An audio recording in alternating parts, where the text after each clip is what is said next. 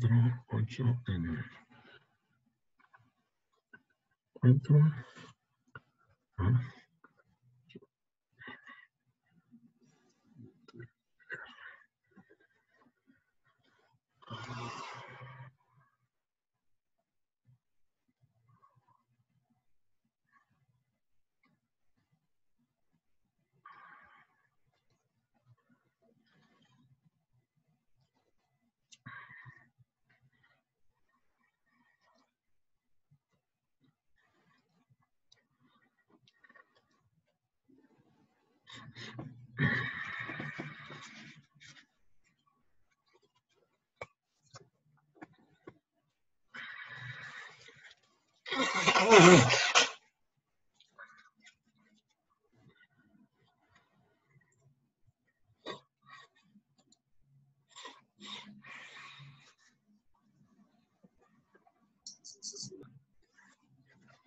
Buenas noches, buenas noches a todos, a todos.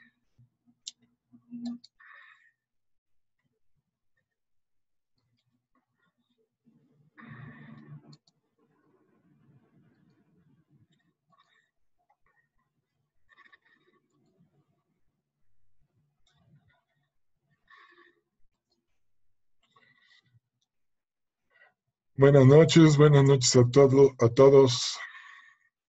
Bienvenidos, bienvenidos.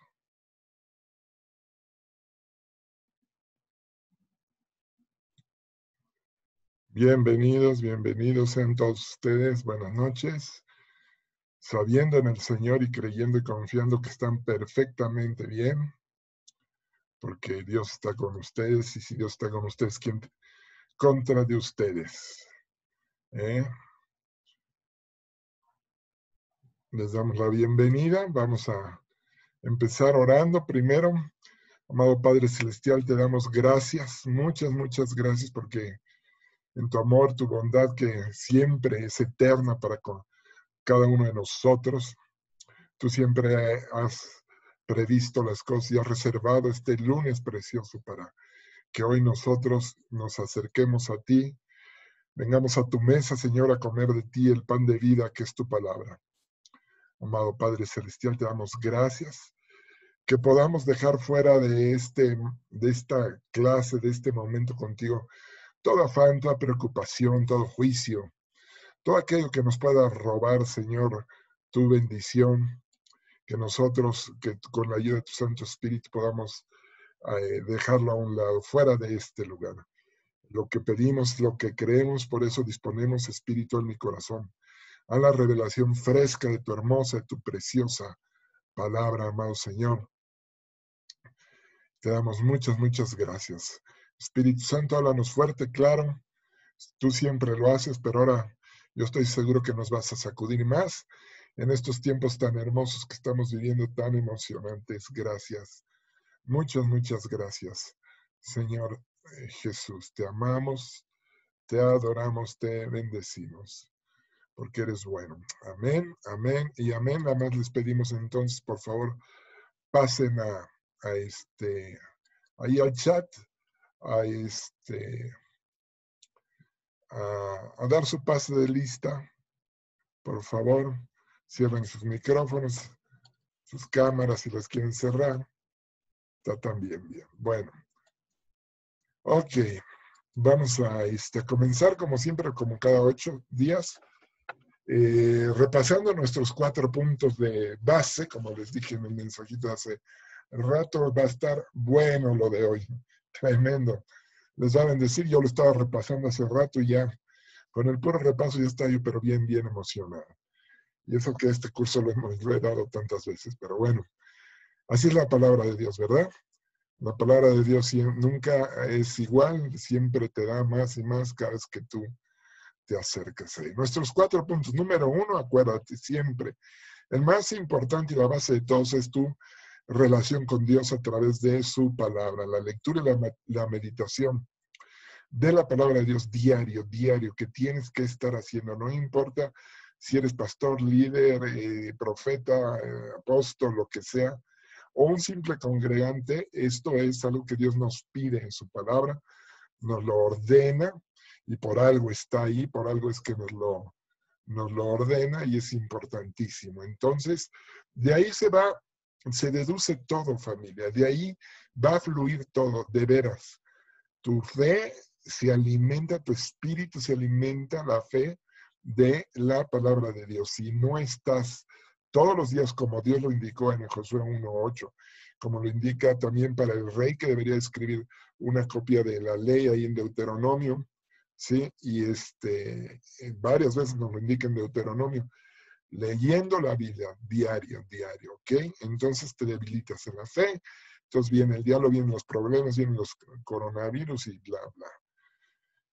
Ok, pero bueno, eso no es para ustedes, ¿verdad? Esto ya sabemos. Punto número uno, los siguientes dos puntos, dos, tres, es acerca de qué es las partes de la identidad. Número uno, ¿quién soy yo? Díganlo conmigo fuerte ahí, aunque estén, y más si están en boles y hay varios, si estás con tu esposo y tu esposo, te repite después de mí o conmigo, yo soy un hijo de Dios nacido de nuevo. Y digo nacido de nuevo para que quede claro que el viejo hombre, la vieja persona que yo antes era, no existe más. Quedó clavado en esa cruz porque con Cristo estoy juntamente crucificado y ya no vivo yo, sino vive Cristo en mí.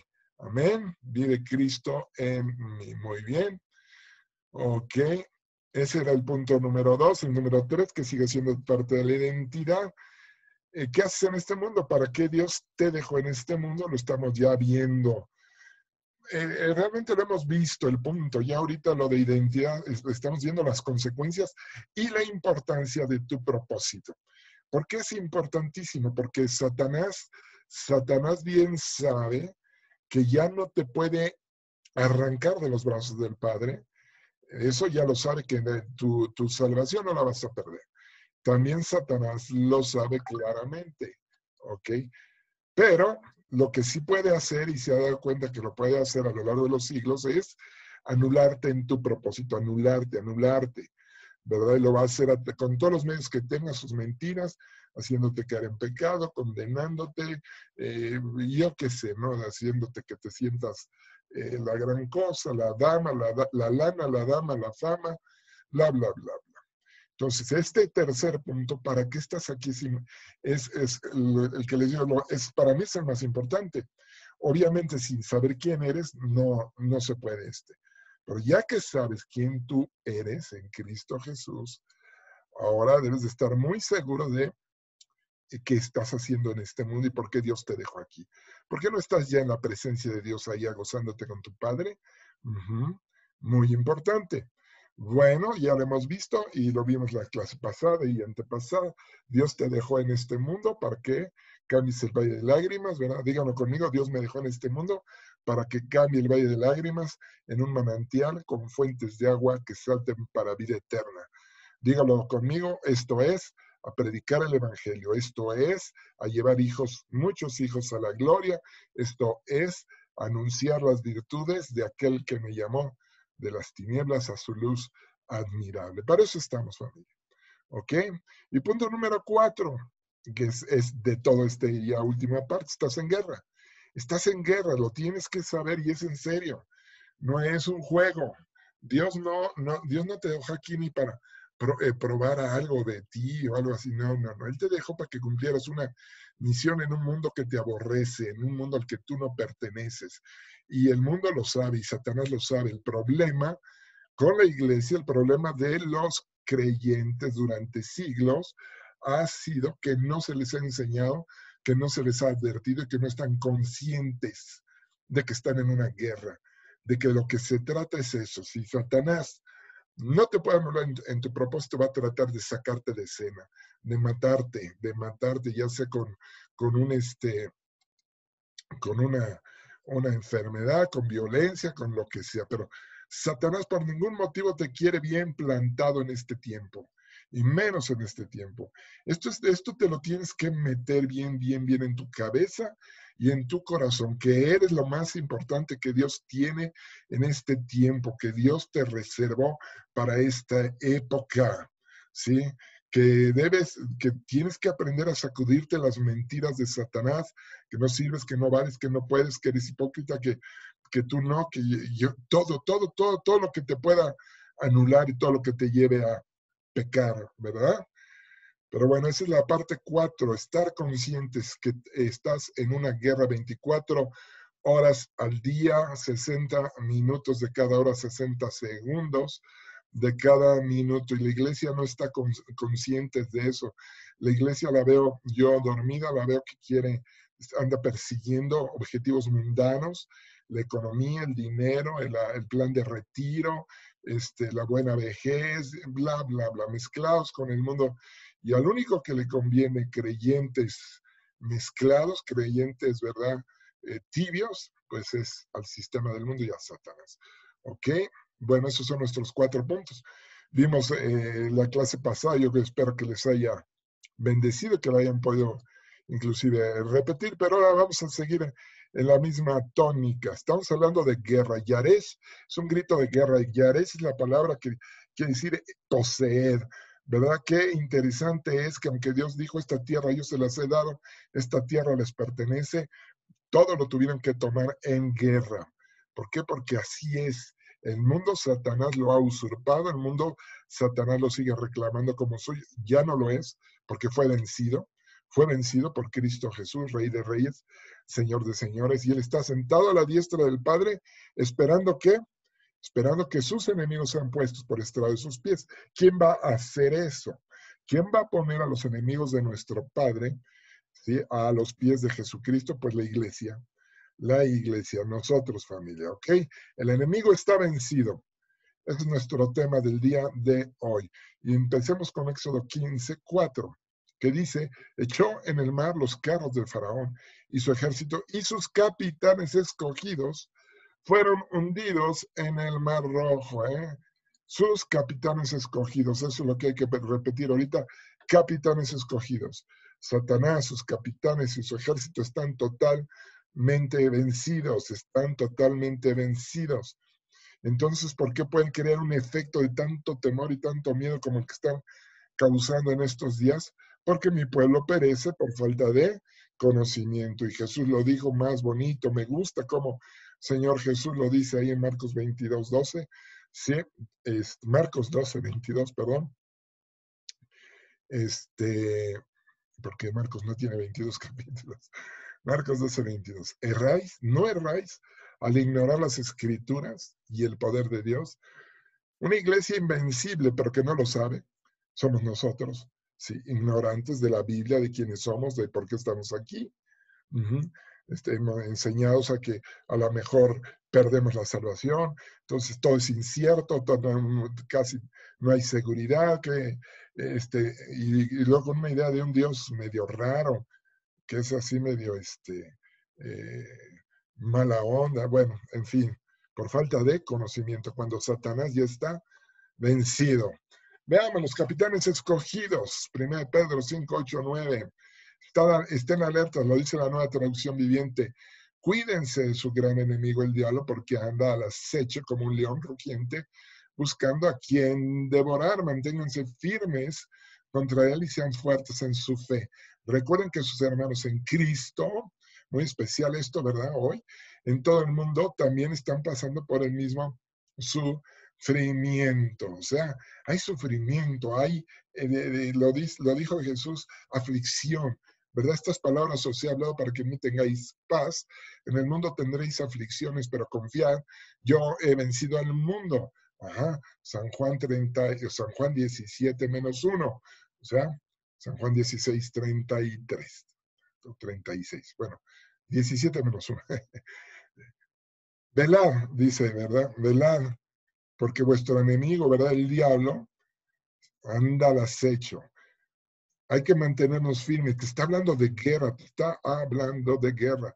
Satanás tratará por todos los medios de recuperar a sus esclavos o por lo menos evitar que lleguen a su destino o que cumplan su propósito. Esto último del propósito casi lo consiguió, pues sabemos que solo dos, Josué y Caleb, solo dos, Josué y Caleb, de toda esa generación entraron a la tierra prometida, hablando de, en el contexto de la, de la cita, ¿verdad? De hace, de hace ratito, ¿sí? De los carros del faraón. Casi consigue que no llegaran a su propósito, a su destino. Y en este, en este tiempo en el que estamos viviendo, a mí me parece que también casi lo está consiguiendo si no fuera por el Espíritu Santo, que no lo permite y tiene hijos e hijas como tú y como yo.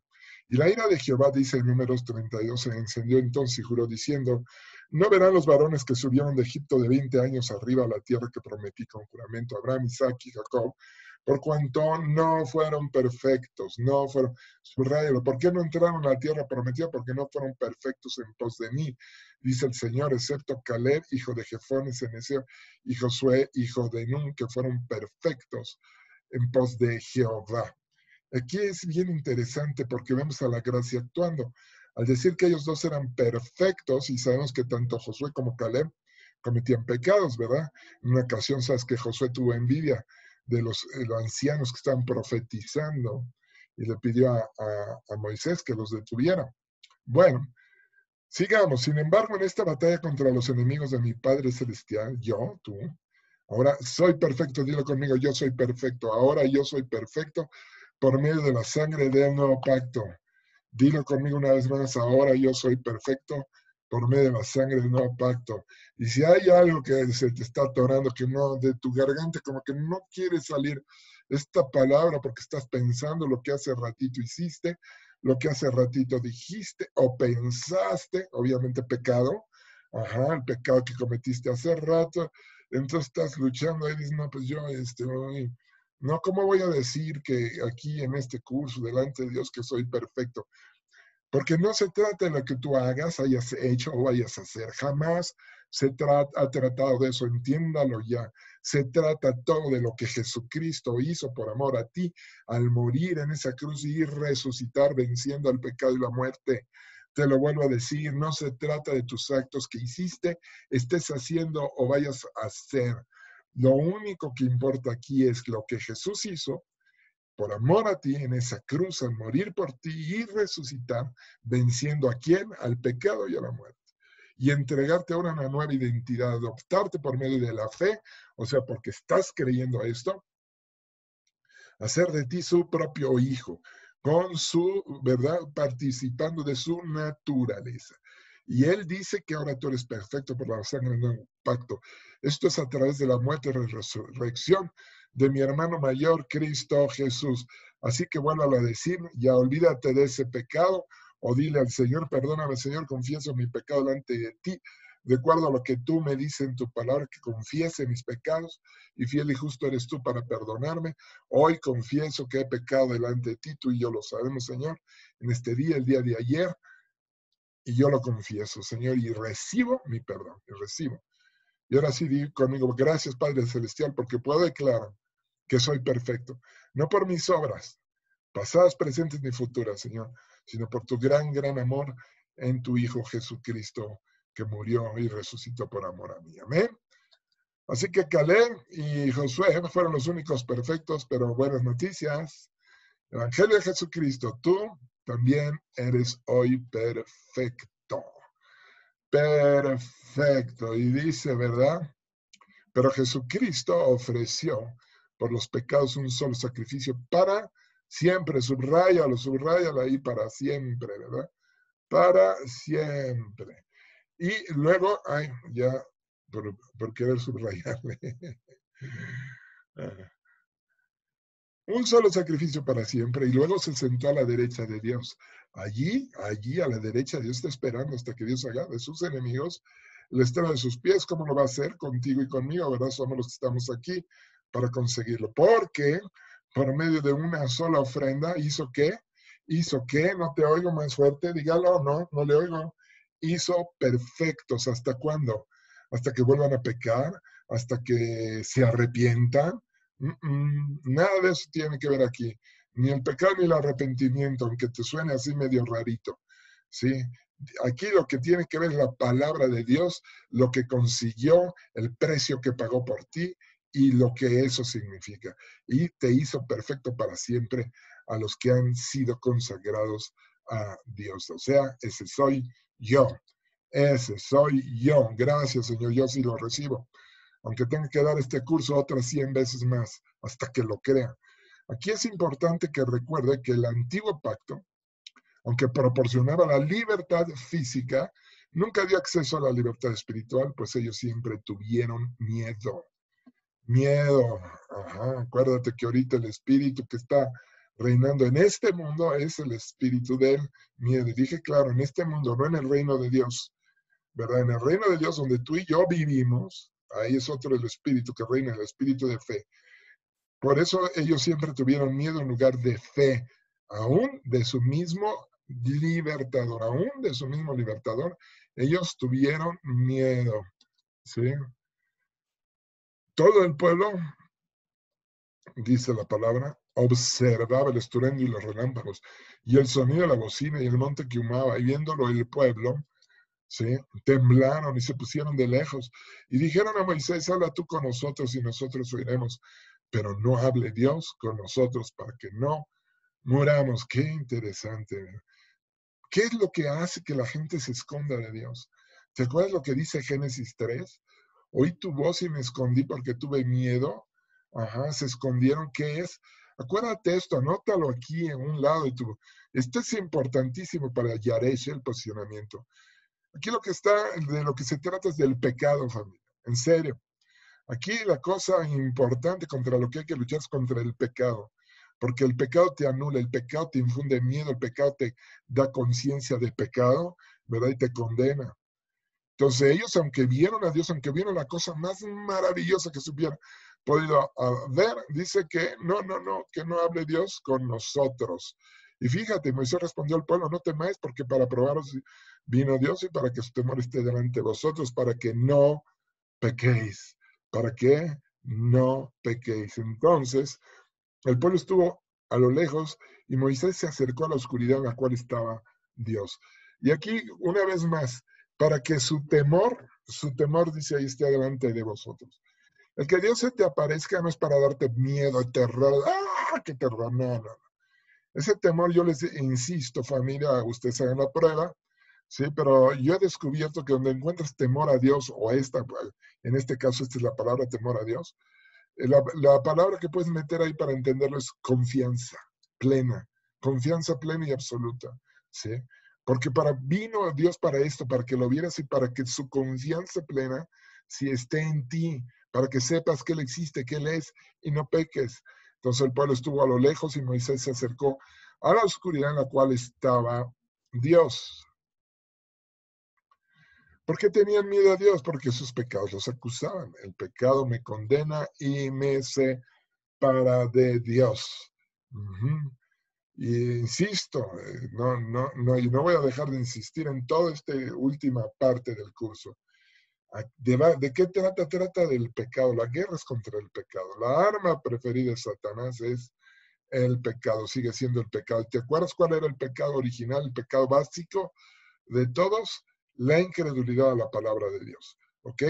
Estas palabras habló Jehová a toda vuestra congregación en el monte en medio del fuego, de la nube y de la oscuridad, gran voz, y no añadió más y las escribió en dos tablas de piedra, las cuales me dio a mí.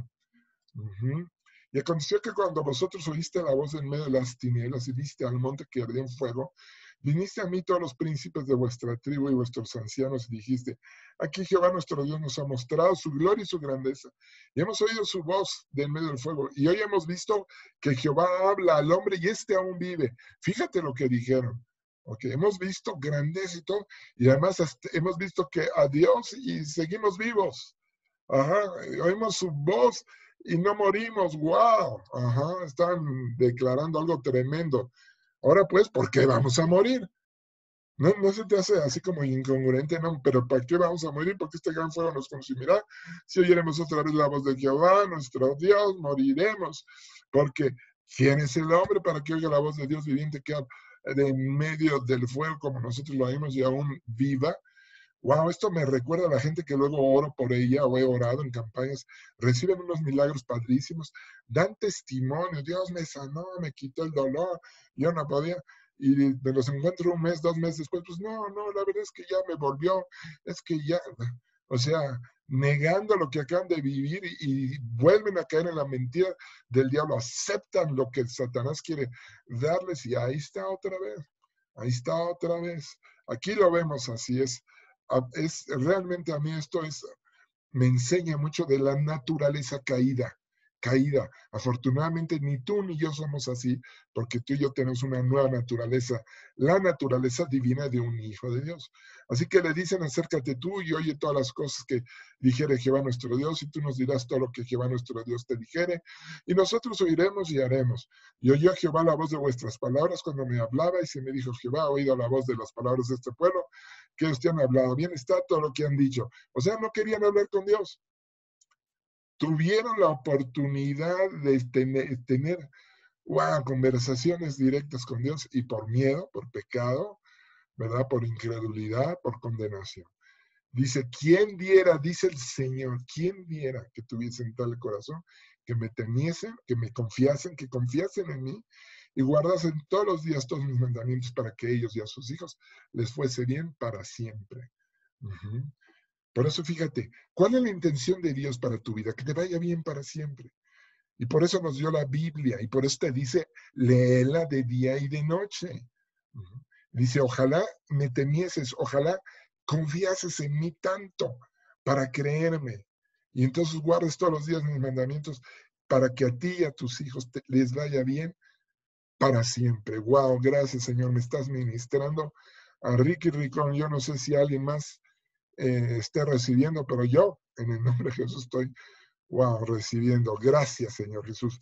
Si hay miedo, quiere decir que está latente la conciencia de pecado y la condenación se encuentra trabajando activamente.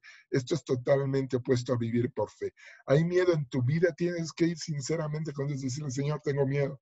Me da miedo el coronavirus, me da miedo la violencia, me da miedo que me van a secuestrar, me da miedo tantas cosas, Señor en, qué estoy fallando para tener miedo en vez de fe? ¿Sí? Aumentame la fe. ¿Cómo voy a aumentar la fe? Dios te lo va a decir. Ponte a leer la Biblia, ponte a meditar en ella, escucha conferencias, buenas conferencias de fe, no de condenación ni de duda. Escucha conferencias todos los pastores, nosotros nos tenemos que estar alimentando. Alimentamos y alimentamos a las ovejas, ¿verdad? Entre semana y, el domingo, etcétera. Y usted, pastor, ¿de dónde se alimenta? ¿De dónde? ¿Sabe lo que hice con la, con la, la conferencia que le mandé el otro día para, para de Kenneth Copeland de cómo dirigir tu vida? Yo me la chuté ya tres veces y la transcribí toda. Así como va diciendo, detenía, pum, pum, detenía. O sea que si quieres la transcripción, con todo gusto te la puedo mandar. ¿Por qué? Porque así me alimento, así recibo. Sin eso, mm, yo no sé usted, pero yo, Ricky Ricón, estaría, pero más que pelas en esta batalla. Isaías 26 dice así, tú guardarás en completa paz aquel cuyo pensamiento en ti persevera. ¿Por qué? Porque en ti ha confiado, en ti ha confiado. Sí, confiar en Dios es fácil decirlo, Señor, yo confío en ti. Mi confianza está solo en ti, se lo puedo cantar. Pero eso se demuestra cómo, obedeciéndolo, obedeciéndolo. Y si Él me dice, nunca se apartará de tu boca este para que te vaya bien, porque yo quiero que te vaya bien, pues tengo que hacerlo. Confía en Jehová perpetuamente, porque en Él, Señor, está la fortaleza de los siglos, de los siglos. En estos tiempos, ¿quién puede vivir por fe? El justo. Y resulta que por Cristo Jesús, yo soy justo, digo, yo soy justo. ¿Quién puede vivir por fe? el justo. Y en estos tiempos, sí, en estos tiempos, ¿quién puede vivir por fe? Sí, porque dice así, eh, Romanos 1.17, porque en el Evangelio la justicia de Dios se revela por fe y para fe, como está escrito, más el justo por la fe vivirá, y ese eres tú, y ese soy yo. Pero es que pequé, pues sí, yo pequé también, ¿sabes? Y pequé hace rato. ¿verdad? Si me molesté con mi esposa, si me molesté con quien sea que me haya molestado, con un microbusero, con una persona que se me cerró en la calle, con el que no respetó la que la sana ¿qué? distancia ahorita que tuve que ir a comprar algo. Y no le dije nada, ¿verdad? Nada. Pero en mi corazón, ya pequé. Entonces, ¿no eres justo, Ricky? Sí, soy justo. Porque mi justicia y mi posición de justo no depende de mis actos. Por eso es que Satanás no se puede meter aquí. No depende de lo que hice, haga o vaya a hacer. Depende de lo que Cristo Jesús hizo por amor a mí al morir, resucitar en esa cruz. A pesar de esto, Dios siempre se ha portado amorosamente con la raza humana tardo para la ira y grande en misericordia. Dios afortunadamente no ha retirado su amor y su misericordia de este mundo. El día que lo retire es porque ya están tocando las trompetas. Aquí vienen días, dice el Señor, en los cuales haré nuevo pacto. La única vez en el Antiguo Testamento que vas a encontrar esta expresión, nuevo pacto, es ahí en Jeremías 31, 31. De ahí no vuelve a estar hasta que Jesucristo levanta la copa y vuelve a decir, esta copa es mi sangre, la sangre del nuevo pacto. Haré nuevo pacto con la casa de Israel con la casa de Judá, no como el pacto que hice con sus padres el día que tomé su mano para sacarlos de la tierra de Egipto, porque ellos invalidaron mi pacto, aunque fui yo un marido para ellos, dice Jehová. El nuevo pacto es un mejor pacto establecido sobre, no sé, yo antes, antes oía esto que estaba establecido sobre mejores promesas, decía amén, amén, pero no tenía idea, no sabía cuáles eran las mejores promesas. Ahora, nada más de pensar quién soy, un hijo de Dios nacido de nuevo, exactamente igual a Jesucristo, eterno, santo, justo, perfecto y glorificado. Ya, con esto tengo para darme cuenta cuáles son las mejores promesas y cómo es que se solucionan todos mis problemas por medio de creerle a Dios creyendo su palabra, aceptarlo, creerlo, vivirlo, declararlo, confesarlo y manifestarlo. Pero ahora tanto mejor ministerio es el suyo, dice Hebreos 8.6, cuanto es mediador de un mejor pacto establecido sobre mejores promesas, mejores promesas. Es precisamente por el nuevo pacto que ahora tú estás de pie como un legítimo, como un auténtico hijo de Dios, nacido de nueva familia. Esto es asombroso, esto es la cosa más maravillosa y milagrosa que nos pudiera haber sucedido. De simples criaturas amadas de Dios, que desde luego ahora por ese gran, gran amor y a pesar nuestro, a pesar de nuestros pecados, a pesar de nuestra naturaleza caída y vendida al pecado, hemos llegado a ser hijos de Dios, nacidos de nuevo a través de la sangre, del nuevo pacto de la sangre de Jesús. ¿Y para qué? Para pelear la buena batalla de la fe, de la fe, porque todo esto se arruinó por falta de fe, todo esto se arruinó por la incredulidad, el pecado original, y ahora todo está establecido en la fe. ¿Alguien quiere agradar a Dios? Pues tendrá que ser por fe. ¿Alguien quiere ser y entrar al reino? Tendrá que ser por fe. ¿Alguien quiere tener vida eterna? Pues será por fe. ¿Y qué es la fe? Creerle a Dios, creyendo su palabra. Así que pelea la buena batalla de la fe y establece el reino de tu Padre Celestial en esta tierra. Este es el Yaresh. Este es tu propósito en esta tierra. Ajá. Pelea la buena batalla de la fe. ¿Cuándo sabes que es buena batalla? Cuando estás alegre, cuando estás gozoso, cuando no tienes la más mínima pizca, resquemor de temor, de duda, ¿verdad? Echas mano a la vida eterna, tu identidad, quién eres en Cristo Jesús y para qué estás aquí, sabiendo que la Biblia es la fuente de todo y que estás en una guerra perenne a la cual asimismo fuiste llamado, habiendo hecho la buena profesión delante de muchos testigos. Los capitanes escogidos de Satanás, esto fue apenas la introducción, para ubicarnos de nuevo, para reubicarnos en la batalla. Los capitanes escogidos de Satanás, que están sepultados ya en el fondo del mar, son la muerte, la tentación, el pecado, la condenación, la enfermedad, la pobreza, el miedo, agrégale ahí, ¿verdad? El miedo, etcétera, etcétera, la envidia, bla, bla, bla. Veamos uno, por ejemplo, y vamos a ver varios en esta, en esta y la próxima y la próxima. Eh, esta lección de los eh, Satanás vencido es, son tres lecciones. El imperio de la muerte ha sido destruido por Cristo Jesús. Y ahora yo soy, dilo conmigo, el imperio de la muerte ha sido destruido por Cristo Jesús. Y ahora yo soy libre de la esclavitud que produce tener miedo a morir porque de hecho yo nunca moriré, pues soy, soy un eterno, eterna, soy un eterno, eterna hijo de Dios, nacido de nuevo. Eso es lo que yo le soy. Le guste a quien le guste, no le guste a quien no le guste. Yo sé que al que le guste es Dios y al que no le guste es el diablo. Así que, por cuanto los hijos participaron de carne y sangre, él también participó de lo mismo, para destruir por medio de la muerte al que tenía el imperio de la muerte, este es al diablo, y librar a todos los que por el miedo, el temor de la muerte estaban todo, durante toda la vida sujetos a servidumbre. Cualquiera de nosotros, no importa la edad o la antigüedad que tengamos en, Jesús, o el grande o pequeño nuestro ministerio, pero que todavía guarde un poquito de temor a la muerte en su corazón. No lo digo para condenar a nadie, porque eso solo lo hace el diablo, sino nada más para que disiernas en tu corazón, ¿sí? Estamos esclavos. Ese miedo nos hace esclavos. Nos sujeta a servidumbre, el miedo a la muerte. El miedo a la muerte. Para mí el vivir es Cristo y el morir, ganancia, ganancia. Me voy con mi Padre, me voy a lo mejor, le sigo allá, pero no me quiero ir hasta que no cumpla mi propósito. Yo no me voy hasta que no lo digas tú y yo, Padre Celestial, los dos juntos. Cuando yo esté listo, vámonos. No lo va a hacer Satanás, no va a imponer sus condiciones en mi vida. Yo soy tu hijo. No lo pudo hacer con Jesucristo y no lo va a poder hacer conmigo. Ni la enfermedad, ni la violencia, ni la carestía, ni la necesidad. Ninguna de esas cosas tienen parte en mí. Yo estoy aquí con propósito. Dígalo conmigo. Yo estoy aquí con propósito. Las condiciones de la victoria sobre la muerte yo ya las cumplí en Cristo Jesús.